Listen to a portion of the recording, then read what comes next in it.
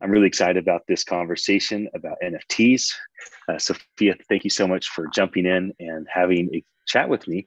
Can you please introduce yourself and uh, what you're working on, and then we'll dive right into it. Yeah, thank you so much for having me. My name is Sofía García. I am the founder of ARTXCODE. Uh, I work with generative artists across the space and really just try to uh, prop the movement in, in any way I can. It's something I've been doing for a few years now, pre NFT, uh, funny enough.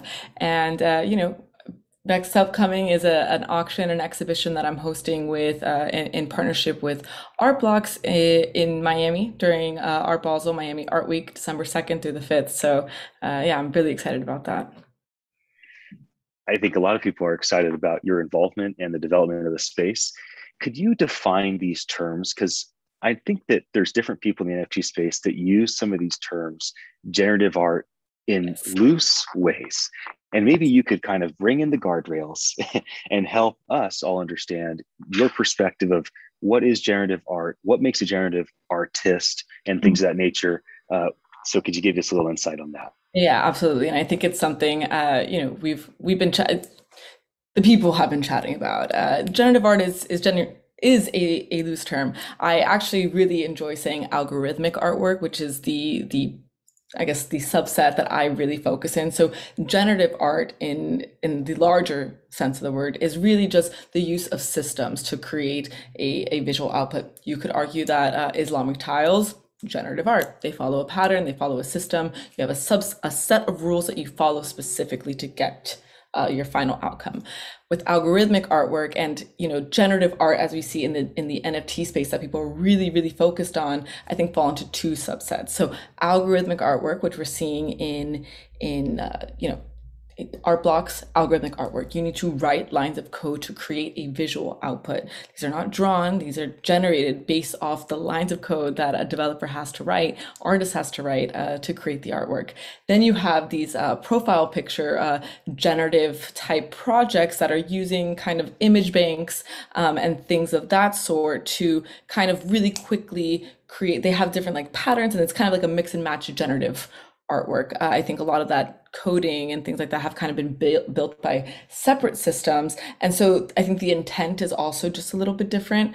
Uh, you know, they the the code is not really part of what you're looking at in, at the, for the artwork. You're looking at kind of this community building, uh, somewhat collectible trading card ish uh, type, you know, type project. Uh, whereas what's really cool about algorithmic artwork, and at least what I geek out about, is the code that that runs behind it, and and the idea of being able to own a living, breathing, uh, you know, software, so to speak. You get the performance of it. Uh, yeah. When you think through community for yourself as mm-hmm. a human and for your company, Artx Code, I think there's maybe at least three communities. There's you and all of your peers entrepreneurs, founders that are serving this community and the broader NFT community. There's your partners, your clients, that the community of those that you're working with. And then there's all the people that they're reaching, the NFT collectors and things of that nature. When you think through the community development, um, how do you structure those things, being that it's decentralized by nature? You know, it's not supposed to go through one kind of power source. So give us some insights on the differences of these communities that you're developing for yourself and for your company? Yeah, I mean, my my strategy honestly is really to to get in front of people um, as much as possible and, and in the flesh. Um, a lot of the work that I do is actually outside of of the Twitter sphere and Instagram. It's really setting up uh, the time to go meet with the everyday collector to go meet with the the galleries to go meet with the museums and and have the conversation with them and break it down for them.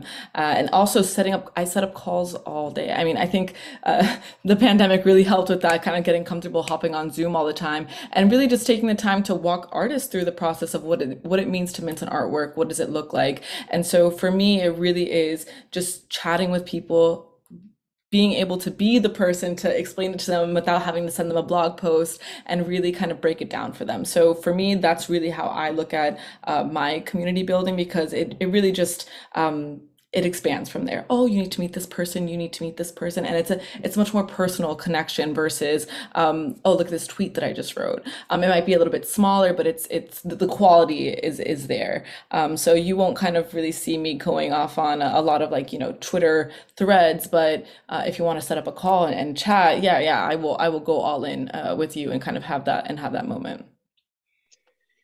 When it comes to the technology, Mm-hmm. Um, you know, there's these platforms, there's all these projects, and um, what tech is most important to what you're working on? And is there tech that you're kind of hoping develops soon because there's a missing piece or there's it's not all there to execute the way that you have vision for and your partners and your clients have vision for?